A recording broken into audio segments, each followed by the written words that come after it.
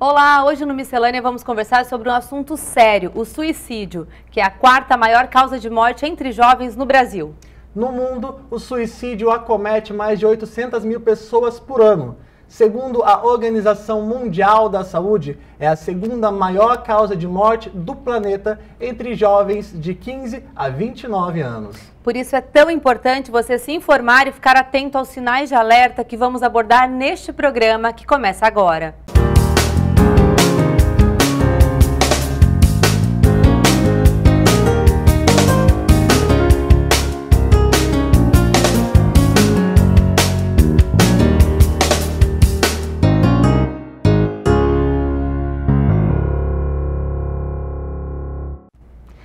sabia que para cada pessoa que comete suicídio, existem pelo menos outras 20 que tentaram, mas não conseguiram consumar o ato? E sem contar naquelas, naquelas que consideraram a possibilidade de tirar a própria vida, mas foram socorridas a tempo pela família e também por instituições como o CVV, que é o Centro de Valorização à Vida. Isso mesmo, a gente está aqui hoje recebendo a Regina. Ela é enfermeira e ela é voluntária do CVV, que é uma das mais importantes instituições de prevenção ao suicídio no Brasil.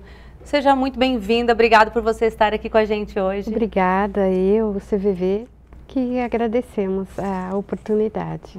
É, em setembro, amarelo fala sobre isso, sempre muito importante. Eu já queria começar perguntando para você a, a, sobre a sua experiência, sobre o seu trabalho que você realiza lá como voluntária no CVV.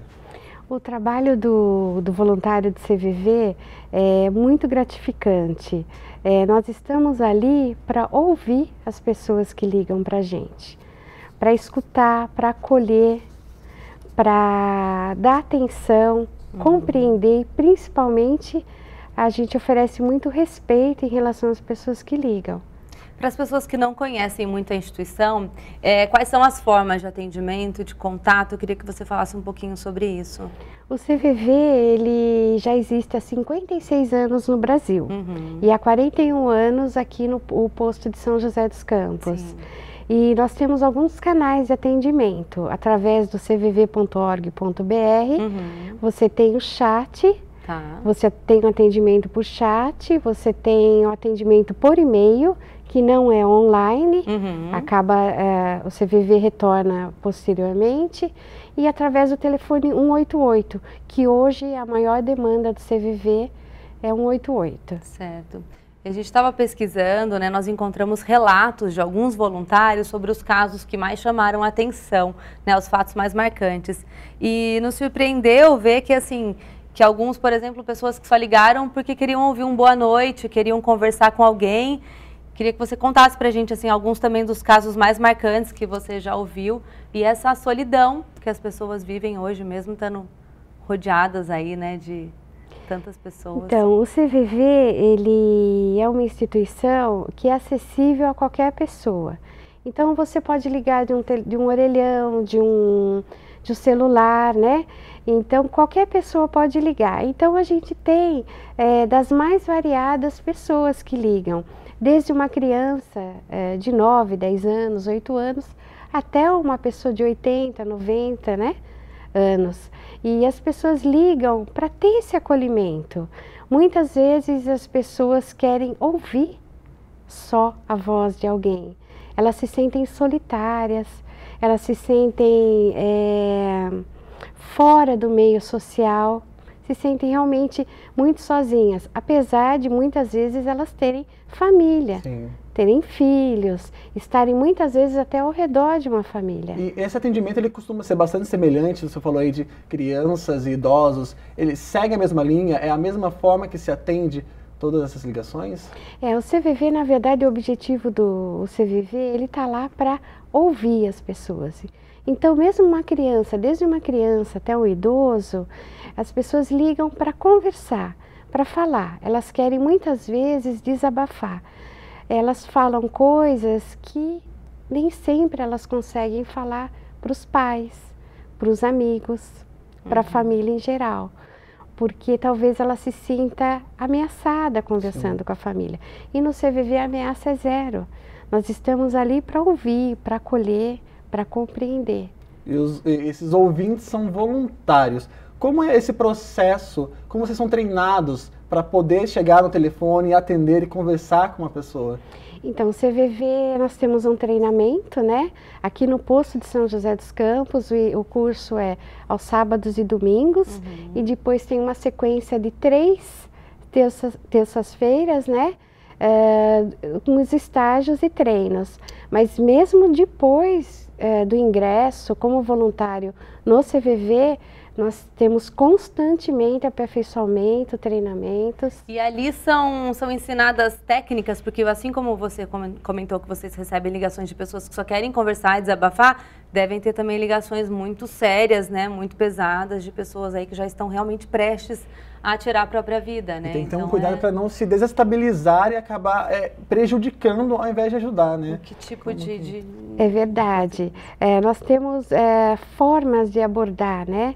é, durante uma conversa a pessoa, fazendo com que, com que ela se sinta muito à vontade em poder falar os próprios problemas, até para criar uma relação de confiança, uhum. porque a pessoa que liga para o CVV, ela precisa sentir essa confiança do voluntário. Aqui, esse anonimato, sigilo, essa compreensão, sem julgar, sem criticar, Sim. sem querer direcionar o que essa pessoa deve ou não fazer. A gente esteve até conversando aqui antes do programa começar sobre a calma com que você fala, que estava testando tudo aqui, como a gente se conversa e a diferença que eu tenho, por exemplo, é, para conversar com, com você. E você disse que isso também é uma questão de treinamento, né? De como se falar, Tom de como a pessoa voz, né? recebe né? isso e como passa por esses estágios de treinamento também. Então, são exercícios constantes, né? Nós voluntários treinamos, fazemos muitos cursos, né? E é realmente a linha de trabalho do CVV. Você imagine a gente ligando para um local onde a gente se encontra aflita, desesperada, e a outra pessoa do outro lado da linha fica mais agitada até do que a própria pessoa que ligou. Sim. Então, por isso que é importante esse o voluntário ele tem essa consciência que a gente precisa passar naquele momento que a pessoa liga muita segurança para que o outro possa chegar até nós e, e se abrir. No caso, você é enfermeira, mas qualquer um de nós, profissional de nenhuma área, podemos atuar como voluntário? Qualquer pessoa pode ser voluntária do, do CVV. Tem que ter acima de 18 anos, ter uma disponibilidade de 4 horas semanais uhum. e ter muita vontade de ajudar o próximo. É o tá vendo? Né? Não é nada absurdo, né? Não. Em termos de dedicação de carga horária, sim. Sim. Não, né? E com certeza deve te fazer um bem enorme, né? Saber Muito. que pelo menos um pouquinho você está conseguindo ajudar, né? Muito. E não são só pessoas que estão depressivas, tristes, que ligam para o CVV. Muitas vezes a pessoa liga porque ela foi promovida. Ah, então ah, ela é? liga, olha, você fez parte disso, dessa passagem, é, desse momento bom. Então que o CVV bacana. também tem esse lado bom. E há retornos, às vezes, tipo, de, olha, eu liguei, falei, um, conversei uma vez, aconteceu isso, aquilo, agora estou ligando de novo. Vocês recebem alguns feedbacks? Acredito que não seja é, a intenção de vocês também que se vá atrás desses, esses feedbacks, mas acontece às vezes de aparecer alguma coisa assim? Então, hoje o telefone 188 ele é nacional, ou hum. seja, o posto aqui de São José dos Campos, o voluntário ele pode atender tanto uma ligação de Sergipe, uh, outra de Pernambuco, de qualquer estado cair aqui. Então, dificilmente Sim. a ligação ela se repete. Ah. Pode acontecer, mas não é comum. Mas isso vem desse tempo agora que se tornou nacional, né? Que isso, não tinha para desde o final de 2017, ah, se estendeu né, nos 23 estados, mas o Distrito Federal. Uhum. E é uma oportunidade, realmente. A ligação é gratuita e isso ajuda bastante a pessoa a procurar o CVV. Bacana, a gente vai parar um pouquinho a nossa conversa para o intervalo e você não saia daí porque daqui a pouquinho a gente continua a nossa conversa. Até mais.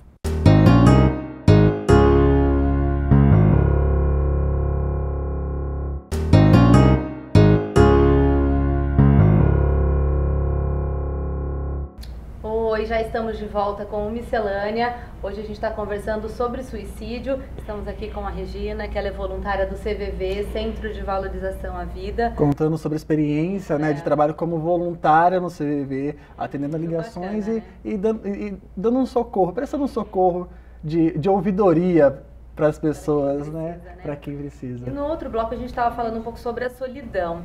Agora eu queria que você falasse quais são outros problemas recorrentes que podem levar a pessoa ao suicídio, pelo que vocês observam nas ligações que recebem, pela sua experiência. Bom, existem vários fatores que podem levar a pessoa ao suicídio, né? Transtornos mentais, desorganização familiar, o bullying, é, o isolamento em geral, a pessoa que acaba se isolando com o meio social, são vários fatores. Vamos falar assim um yeah. pouco sobre papéis, né? Sobre isso. Qual o papel da escola, da família, dos amigos nessa atenção a, né, a essa pessoa de observar talvez alguns sinais? Acho que é mais um exemplo de como voluntário, assim, como, né? você, como estar como voluntário na vida das pessoas, é, mesmo não fazendo parte do CVV, não podendo estar, é, como que a gente pode aprender? O que a gente pode aprender com vocês para praticar na nossa vida? Bom, é, falar sobre suicídio é, sempre foi um grande tabu. Agora que está se abrindo muito mais a informação, por conta até do Setembro Amarelo, né? Que é uma campanha de conscientização da, da prevenção do suicídio. Sim. E com também com a com o objetivo de alertar a população da realidade do suicídio no Brasil. Sim. Então, na verdade, é, é, a prevenção do suicídio é, é, tem que ser composta por todos, ajudada por todos. Sim. Família, escola, uh, os amigos, todo o meio social, através do que? Da informação.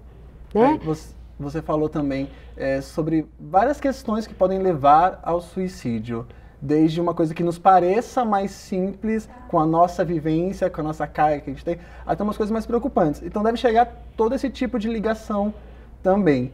E aí depois que se desliga o telefone, como se trabalhar isso pessoalmente, interiormente, assim, em questão de emocional mesmo de voluntário? Olha, a pessoa que acaba ligando, ela, a gente vai conversando, né? E a gente percebe que essa pessoa vai se sentindo muito melhor depois que ela consegue uh, desabafar, é, esvaziar aquilo que estava causando ansiedade, angústia, sofrimento. Então, é, para a gente é muito gratificante essa sensação em que o outro, quando fala, nossa, é, que bom ter conversado com vocês eu me sinto melhor. Então é dessa forma que o CVV procura ajudar, realmente, ouvir para que as pessoas possam se comunicar, possam falar o que elas sentem. E às vezes a gente escuta as pessoas falando assim: "Ah, fulano disse que vai se matar. Quem fala que vai se matar não se mata nada". Você acha que quando a pessoa verbaliza isso, ela está pedindo socorro, ela está pedindo me ajuda? Sim. Ela está pedindo ajuda. Se a pessoa está falando para você, para os amigos, para a família. Eu não aguento mais, é, eu quero morrer, eu não queria viver. É uma pessoa que está pedindo ajuda. E a gente tem que olhar com um olhar especial para essa pessoa. E é triste que às vezes as pessoas não, não entendem isso, né? E falam, ah, a gente já ouviu muito isso, né? Ah, quem vai se matar não fica falando. Não anuncia, né? porque não aí anuncia. não queria ninguém para atrapalhar e é que muitas vezes a pessoa ela tem aquela queixa é, repetida, é, ela repete muitas vezes a queixa com a família e a família acaba não levando muito a sério, uhum. mas é sempre um sinal de alerta. E hoje também a gente tem aí as redes sociais, né, que as pessoas desabafam Sim. muito nas redes sociais, né? Tá aí mais uma oportunidade da gente ver que alguém não tá bem, né? Sim, é, é uma atenção, né? Porque às vezes é, ah, espero que fique bem. E você nem, nem tipo, oi, tá precisando conversar? Quer, quer falar alguma coisa? Se expor a esse ponto, né, de fazer um texto enorme, colocar na rede social seus sentimentos, uhum. suas angústias, ela está precisando Certamente atenção, não tem ninguém na, na intimidade. Ajuda, né? É, eu acho que hoje em dia, com esse é um tempo, são tempos modernos de redes sociais que da mesma forma que aproximam, muitas vezes afastam, né, as pessoas. Então é importante a gente ainda ter aquele contato próximo do amigo, da família, os pais conversarem com os filhos, né? Os amigos, tem a questão do bullying hoje que é muito forte na Sim. escola, né? Que leva as pessoas a terem baixa autoestima, baixa estima. Então é, é tudo isso que a gente tem que levar em consideração. Eu fico, eu fico admirando admirando ver a calma como ela fala, é. porque é, e, e, como ela, ela teve conversando aqui com a gente antes do programa começar, de, de como isso faz bem. É. Eu quero dizer para você como pessoa, o quanto isso te enriquece, o quanto isso satisfaz, agora ali no mais íntimo mesmo. Saber que a gente pode passar um pouquinho de paz para uma pessoa sequer já valeu a pena na nossa vida.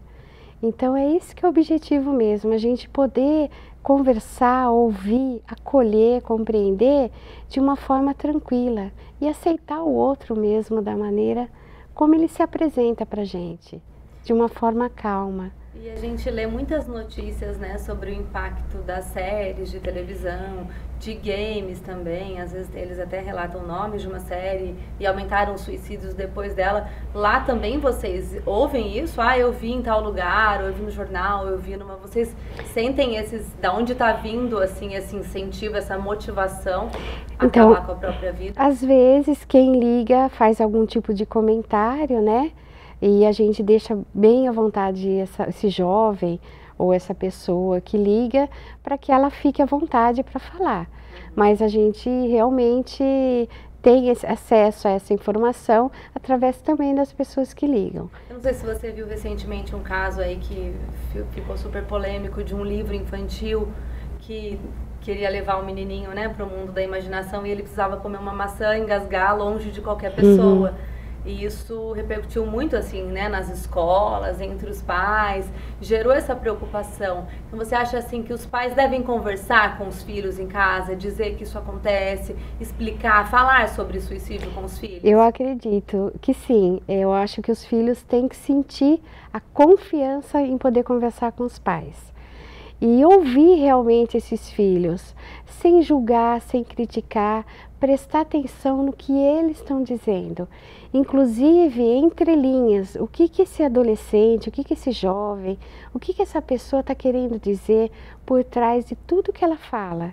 Uhum. Porque às vezes passam alguns detalhes que às vezes a gente não percebe e aquela pessoa está passando uma mensagem que tem alguma coisa errada. E a correria do dia a dia, às vezes a gente acaba não prestando atenção.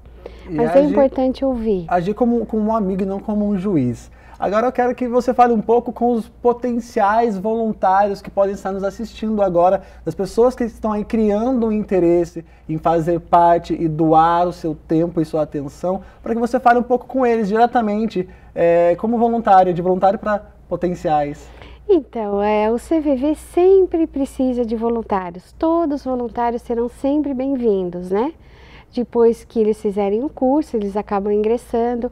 Aqui em São José dos Campos, é, o São, é São José dos Campos, arroba, CVV, é, São José dos Campos, arroba, cvv.com.br. É, desculpa. Não, não tem são José dos Campos, arroba cvv.org.br. Tá é o e-mail para contato das pessoas que querem, interessadas, é, interessadas em, em fazer o curso. Né? Mas no Brasil inteiro, é só acessar o site do cvv.org.br e as pessoas têm as informações, uh, como é que elas podem ser voluntárias em qualquer região do Brasil.